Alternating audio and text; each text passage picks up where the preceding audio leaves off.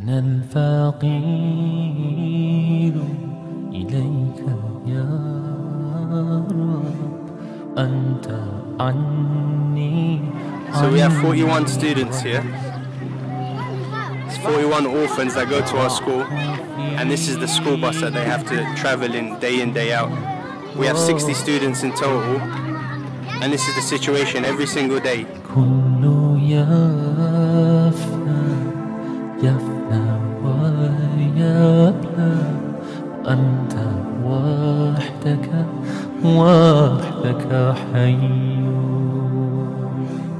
أحيا بروح روح طاموح We want to fundraise for a proper school bus, inshallah, to take these orphans because um, you know they, they deserve the best. SubhanAllah, we wouldn't accept this for our own children anywhere else in the world. ساعدونا